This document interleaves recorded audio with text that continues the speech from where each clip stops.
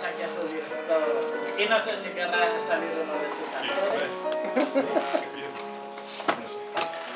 Pues sale también Jonathan de Futuro. siempre o me muero al final o me quedo sin la chica. Y este se quedó con la chica que llevaba buscando toda la vida.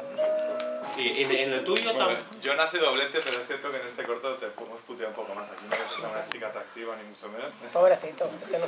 Bueno, yo soy Daniel, el director del corto. Eh, gracias a todos por venir, un lunes frío. Eh, gracias a José Luis por seleccionar el corto, que siempre es muy... Siempre en los festivales. Y nada, es una historia de terror, eh, creo que no es bueno que sepáis mucho sobre el argumento. Y nada más, espero que lo disfrutéis, no sé si alguien quiere decir algo. ¿Algo más? Yo quiero una chica. Gracias.